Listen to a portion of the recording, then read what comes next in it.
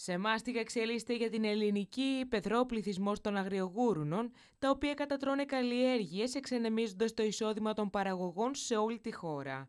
Εν τω μεταξύ, μεγάλος είναι και ο αριθμός των τροχαίων ατυχημάτων που προκαλούνται από τα άγρια ζώα που κινούνται στο αστικό αλλά και στο επαρχιακό δίκτυο. Το πρωί του Σαββάτου στη Λαμία, με πρωτοβουλία του Υφυπουργού Αγροτικής Ανάπτυξης και Τροφίμων και βουλευτή φθιότητα Γιάννη Οικονόμου, πραγματοποιήθηκε συνάντηση μεταξύ τοπικών αυτοδιοικητικών αρχών, τοπικών φορέων και εκπροσώπων κυνηγών και υπηρεσιακών στελεχών αναφορικά με το μείζον θέμα του υπερπληθυσμού των αγριόχειρων. Ο κ. Οικονόμου είχε αναδείξει πολλές φορές το ζήτημα κατά το παρελθόν και ως βουλευτής Θειότητα με σχετική κοινοβουλευτική ερώτηση, επιστολή του προς τους αρμόδιους υπουργούς αλλά και παρέμβασή του στο κοινοβούλιο αποτέλεσμα των παρεμβάσεων συνολικά δόθηκε η δυνατότητα θύρας των αγριόχειρων σε όλη τη διάρκεια του κυνηγητικού έτους ή της κυνηγητικής περίοδου, αλλά και σε περιοχές που δεν επιτρέπεται αυτή. Αντιμετωπίζουμε στην περιοχή μας, όχι τώρα, τα τελευταία χρόνια, ένα πολύ σημαντικό θέμα με τα αγριογούρουνα, το οποίο έχει διπλή διάσταση. Πρώτα απ' όλα, προκαλούνται, προξενούνται τεράστιες ζημιές στις αγροτικές καλλιέργειες, που σημαίνει απώλεια εισοδήματος για τον παραγωγό, καταστροφές.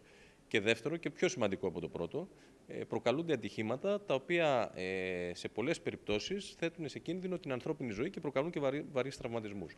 Η κατάσταση λοιπόν έχει ξεφύγει και η κυβέρνηση αντιλαμβανόμενη το επίγον του πράγματος δημιούργησε ένα θεσμικό πλαίσιο το οποίο να ε, δίνει τη δυνατότητα αντιμετώπισης αυτού του προβλήματος. Το θεσμικό πλαίσιο αυτό το κάναμε λειτουργικό, απλό, το εξηγήσαμε σήμερα εδώ στους αρμόδιους φορείς ε, της α, περιοχής μας ήταν παρόν ο Γενικός Διευθυντής Κτηνιατρική Υπηρεσίας του Υπουργείου Αγροτικής Ανάπτυξης και Τροφίμων, η Διευθύντρια της ΔΑΟΚ, ο Διευθυντής του Δασαρχείου και ο Πρόεδρος του Κυνηγητικού Συλλόγου. Μαζί λοιπόν με τον Αντιπεριφερειάρχη, τον κύριο Καρακάτζα, εξηγήσαμε το καινούργιο νομοθετικό πλαίσιο. Τι προβλέπει αυτό, Προβλέπει τη δυνατότητα θύρευσης όλο το χρόνο. Δηλαδή, το κυνήγι του αγριογούρνου επιτρέπεται όλο το χρόνο. Δεύτερον, ε, επιτρέπεται σε όλες τις περιοχές. Δεν υπάρχει περιοχή στην οποία δεν μπορεί να γίνει κυνήγι του αγριογούρνου όλο το, χρόνια, το χρόνο. Όλα αυτά είναι καθαρά. Τρίτον, απλοποιήθηκε ο τρόπος με τον οποίο θα γίνεται αυτό. Δεν χρειάζεται δηλαδή φυσική παρουσία από το δασαρχείο ή από την κτηνιατρία, πράγμα που συνιστούσε πρακτικώς αδύνατη την ε, λειτουργία και την εφαρμογή του νόμου. Τέταρτον, υπάρχουν προβλέψεις έτσι ώστε αυτό να γίνεται όπως πρέπει, οργανωμένα, με συγκεκριμένα συνεργεία που θα τηρούν συγκεκριμένες προδιαγραφές και για την ασφάλεια των ανθρώπων που θα συμμετέχουν, αλλά και για την προστασία της βιοποικιλότητας και των υπόλοιπων ειδών. Διότι αυτό που θέλουμε είναι να αντιμετωπίσουμε το πρόβλημα. Δεν θέλουμε να βιάσουμε τη φύση, να προκαλέσουμε παραπάνω προβλήματα.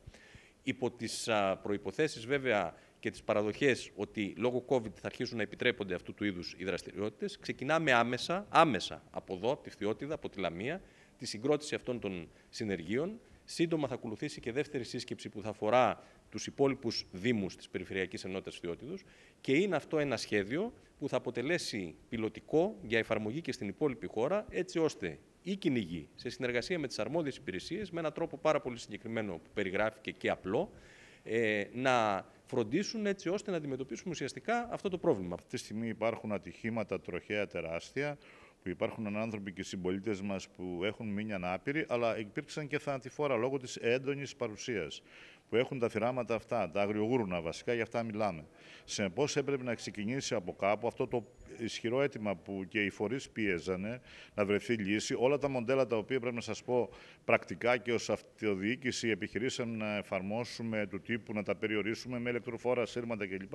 Αυτά τα ζώα δεν αντιλαμβάνονται αυτού του είδους τις παρεμβάσεις. Συνεπώς, οι πληθυσμοί λόγω του ότι ήταν σε έξαρση, με δεδομένο ότι έχουν ε, παραγωγικότητα πάρα πολύ μεγάλη πληθυσμιακά, έτσι λοιπόν φτάσαμε σε ένα διέξοδο.